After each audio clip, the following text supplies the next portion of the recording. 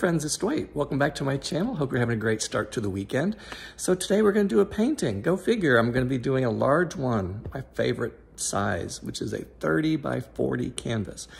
So I'm going to be repurposing an old painting. I've already painted over it black um, to give me sort of a fresh start on top of the canvas there. Um, I'm going to be using primarily Arteza brand paints. So I'm going to be using, I think, blue and green, um, some red, and I'm going to use some white in between some of the layers, but I'm going to be using not Artist Loft white this time, but Dazzling Metallics Pearl White. So that's going to be my white. And I'm going to do something different. Now, I don't use a lot of props when I paint. I just use my cups and I pour on my canvas.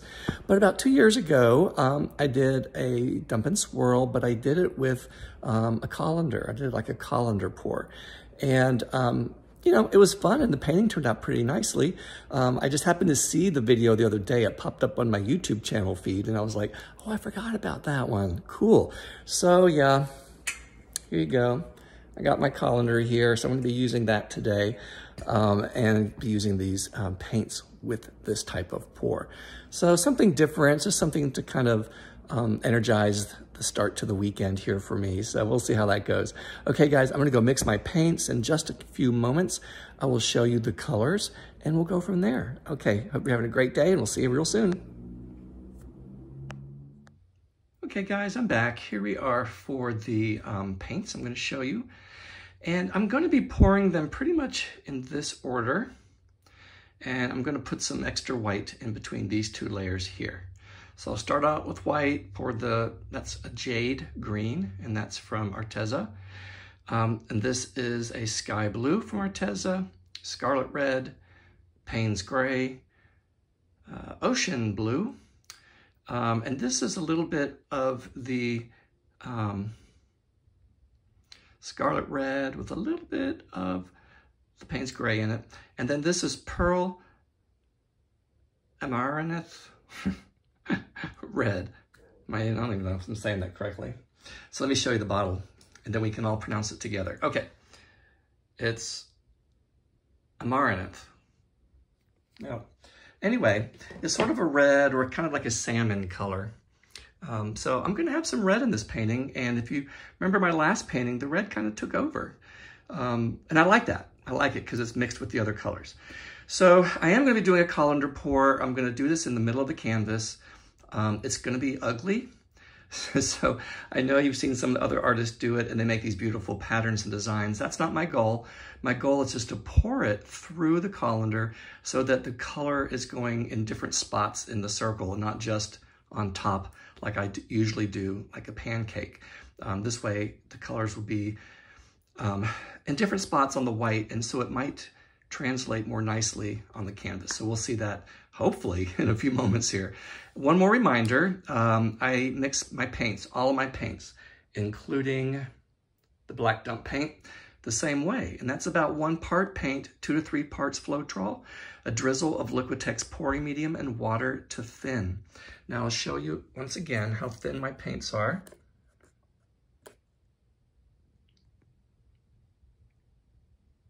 It's just kind of going right in.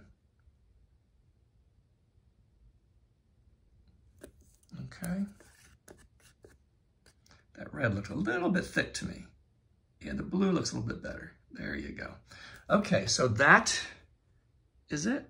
So let me um, just double check all my paints, mix them up again if I need to, so that the paint doesn't settle in the cup a little bit, and we'll get started. Okay, guys, hold on.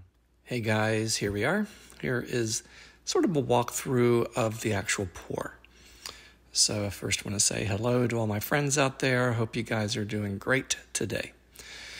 So yeah, I've used this colander I think once before in a pour I mentioned, um, but not on a canvas this large. So I have a larger colander and maybe I should have thought about that, but it still works out okay.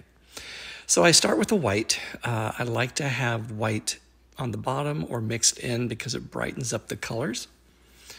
And I started with that sort of uh, jade green. And then I went to the sky blue on top of that. And then this lovely color, that scarlet red. It's such a nice color. Um, I like it a lot, actually. It's so bright and it's intense, I guess is a good way of, of stating that. So then I added, uh, I believe, the Payne's Gray. And I think when you look at the final results, you'll see that it darkened things up a little bit.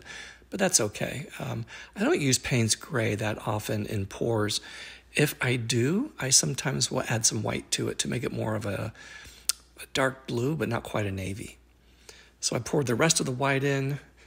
Uh, looks like I'm making a big old soup.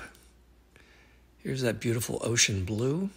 Again, these are all uh, Arteza brand paints except for the white, and the white was Dazzling Metallics Pearl White. And again, there's the Scarlet Red with a little bit of Payne's Gray in it, just a tad to make it darker. And then that um, Pearl, oh, I still can't pronounce it, red. So it's almost like a pink or salmon color. I just want a bit of a contrast. So I'm looking at it, I'm thinking, not a lot of paints come out. There's still some paint on the bottom. I think when I mentioned earlier about my colander, the sides, there are no um, drain holes on the sides. So um, I had to lift it up. And then what I had to do was to slowly move it around because there were some paints around the edge inside, and I wanted to get those into the holes that were um, in the middle of the colander there. So I just decided I was going to move it around. I wasn't going for a beautiful looking um, colander pour down below. As you can tell, it looks like a mess, but that's okay. I have all that color in there. So if you can see inside the colander a little bit, I'm moving it around to get as much as I can to drip out because um, I need as much paint as I can to make sure that I can cover the canvas. Okay, we'll just move that out of the way and we will get the black dump paint. You can see how thick the paint was. You see that first splash of black and went way down inside, which is good, which is good because I think sometimes it sort of helps the um, center close up some. And I think you'll see that when you watch the um, time-lapse part of this video. So I wanted to do a classic swirl because I wanted to get that black covering most of the color. So I'm swirling it around to make sure that I don't lose color when I tilt it off. So I was taking my time. I didn't want to rush.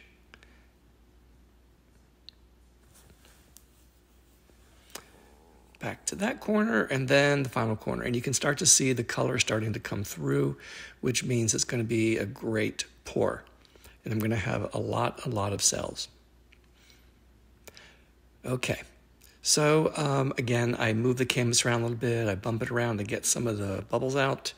And of course, I use my um, heat gun, which I'll do just a moment here.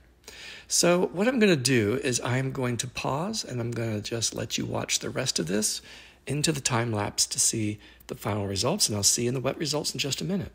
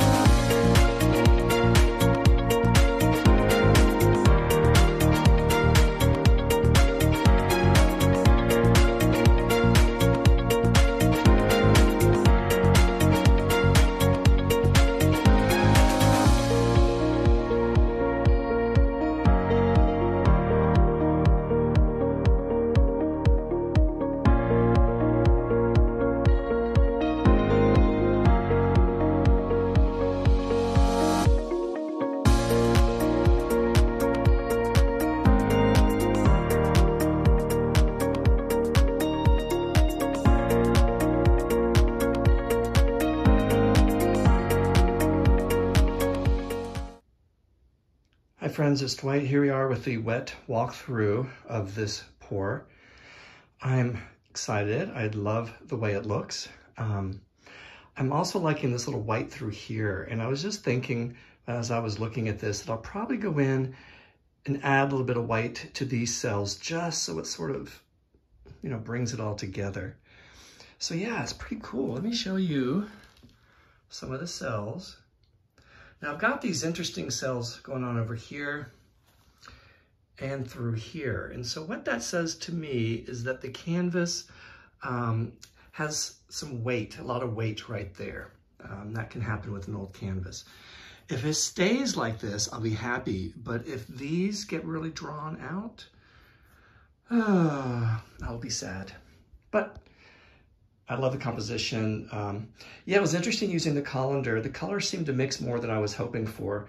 Uh, but still, I, I think it, it, filled in nicely, and it's still one of my favorite Dump and Swirls. Because um, again, I'm gonna I want to be able to hang it this way. Um, so we'll see. We'll keep working on it. Okay, guys, thanks for joining me today. Sorry for the glare. I have this window up here. Yikes.